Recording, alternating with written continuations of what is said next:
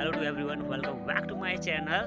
The very first of all a warm good evening to everyone. I am making this video after long. I haven't been uploaded a video since long that's why i thought i must make a video about my village. So you see right behind me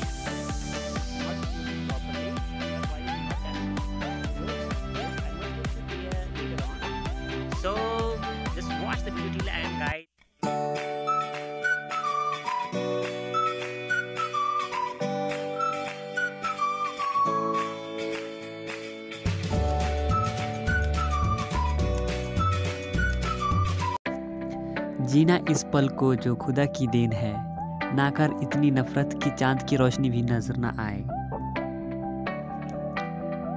क्या कहूँ ये खुशियाँ? पल भर के लिए चेहरे पे इस तरह झलकती है मानो ये ज़िंदगी के हर सफ़र में साथ दे। ज़िंदगी एक पल में बिखर जाती है जब खुशी आँसू में बदल जाती है। See now the big farm of our village, how bigger it is. Usually we produce two crops in a year, one is wheat and corn. Crop will arrive very soon, next month we will harvest it.